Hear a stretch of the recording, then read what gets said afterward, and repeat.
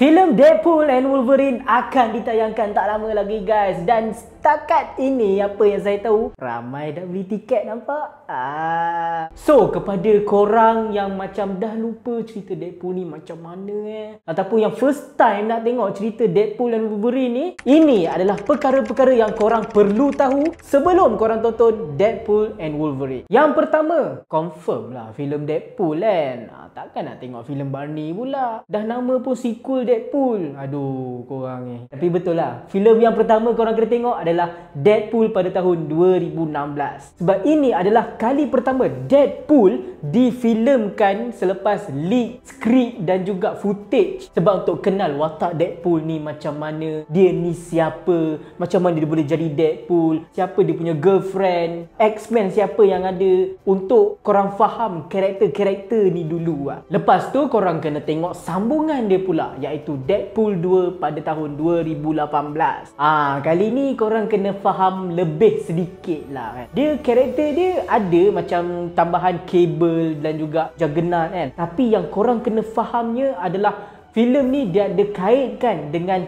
time travel. Ah yes. Dekat akhir-akhir scene tu Deadpool adalah dia patah balik masa kan. Dia selamatkan girlfriend dia, dia padamkan weapon 11, dia bunuh baby Hitler dan ada lagi lah. So kenapa saya syorkan untuk korang tengok Deadpool yang kedua ni adalah sebab maybe lah, maybe lah. Kalau korang tengok trailer Deadpool 3 tu, korang akan nampak TVA dia pergi tangkap Deadpool. So maybe Deadpool ni dia ada buat dia messes with time dan TVA ni dia tak suka tau. So sebab tu dia tangkap Deadpool. Ah, maybe maybe ini just my theory. Filem yang seterusnya ni adalah the beginning of X-Men universe, iaitu filem X-Men pada tahun 2000. Sebabnya dari filem ni lah kita akan belajar siapa Wolverine, Professor Charles, Magneto, The X-Men. Dan ada dua villain dalam ni yang dah pun confirm akan kembali dalam Deadpool 3 tu. First kali adalah Tyler Mane sebagai Sabretooth dan juga Ray Park sebagai Toad. Lepas tu, ah yang ni satu series yang memang sangat sangat penting untuk korang tengok iaitu series Loki season 1. Series ni lah. Maafkan saya kalau saya salah. Series pertama yang main dengan konsep masa. Apa itu timeline? Siapakah TVA? Siapa TVA agent? Siapa yang kawal the timeline tu? Semuanya adalah penting untuk filem Deadpool 3 nanti. Cumanya jangka masa dalam filem Deadpool 3 dan juga Loki series ni saya tak berapa tahu sangatlah. Yang mana take place dulu sebab Loki series ni ada Mobius tapi dalam trailer Deadpool 3 yang kita tengok tu tak ada pun Mobius dia ada Mr. Paradox Paradox Mr. Paradox the placement of these two events tak tahu mana satu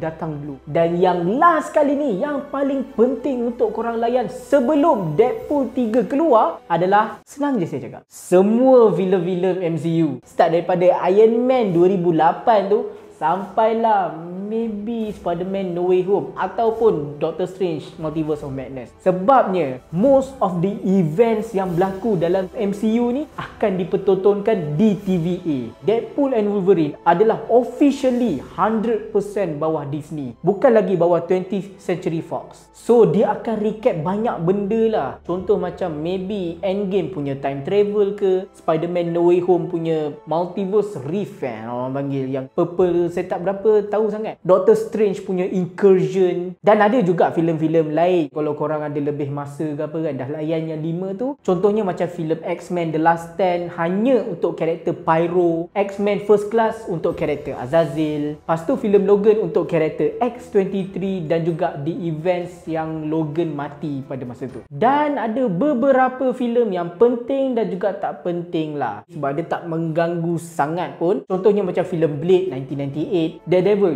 2003, Fantastic Four 2005 dan Elektra 2005. So itulah filem-filem yang perlu korang tengok dan juga maybe atau tidak untuk korang faham tentang karakter-karakter yang akan muncul dalam filem Deadpool and Wolverine nanti. So, secara konklusinya saya nak cakap, korang perlu layan semualah semua filem-filem Marvel. So, apa teori-teori yang paling pelik korang pernah dengar pasal filem Deadpool and Wolverine ni? Dan juga apa jangkaan korang untuk filem ni? Adakah laku ataupun rugi? Korang boleh beri pandangan korang di bawah sebab pandangan korang pun berhak untuk disuarakan. Apa-apa pun guys, jadilah penonton yang setia. Terima kasih.